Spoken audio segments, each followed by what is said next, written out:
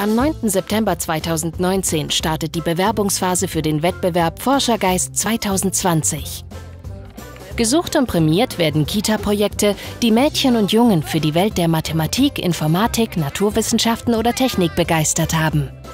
Die Initiatoren des bundesweiten Kita-Wettbewerbs sind die Deutsche Telekom Stiftung und die Stiftung Haus der kleinen Forscher. Liebe Erzieherinnen und Erzieher, mit dem Wettbewerb möchten die Initiatoren ihr tolles Engagement für das forschende Lernen in Deutschlands Kitas sichtbar machen und wertschätzen.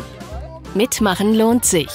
16 Landessieger bekommen Besuch vom Forschergeistmobil und werden in ihrer Kita mit einem eigenen Forscherfest geehrt. Zudem werden sie zur feierlichen Preisverleihung nach Berlin eingeladen, wo aus den Preisträgern fünf Bundessieger gekürt werden. Jedes Projekt, was von den Kindern kommt, kann mitmachen. Das ist das Angenehme dabei. Es ist kein Druck dabei. Im Vordergrund steht eigentlich der Spaß der Kinder und der Spaß der Erzieherinnen und Erzieher. Man hat vielleicht ein Projekt, man möchte gern eins extra für den Forschergeistwettbewerb äh, machen. Es gibt ein ganz tolles Fest, wenn man gewinnt. Und es gibt natürlich auch ein Preisgeld. Lasst den Forschergeist frei.